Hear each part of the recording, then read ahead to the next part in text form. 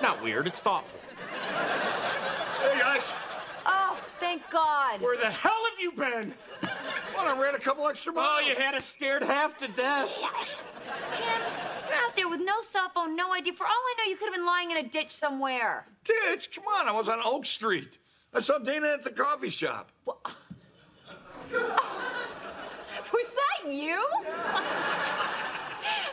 Baby's useless before she gets her coffee.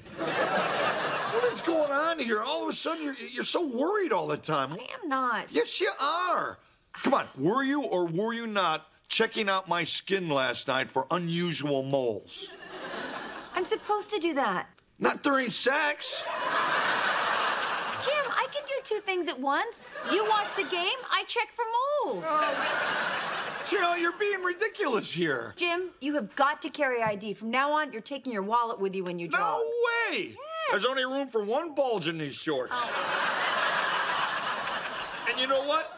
I'm telling you, your obsession with safety has got to end, Cheryl. The got to world end. is a dangerous place. No, Cheryl, your head's a dangerous place. Y- You know what? You're, you're not 25 anymore. You turned 50 last year. Oh, God, she's right, Jim. You're in the death zone. Tell me this. What if something does happen to you when you're out running? Like what?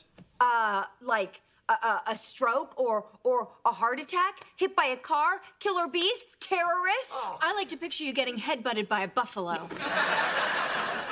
Do you hear yourselves? A buffalo? It happens, Jim. They escape from these petting zoos and just run wild. I've heard that. The kids run out of those little pellets, then all hell breaks loose. Why are you two fanning the flame of this crazy woman's bonfire?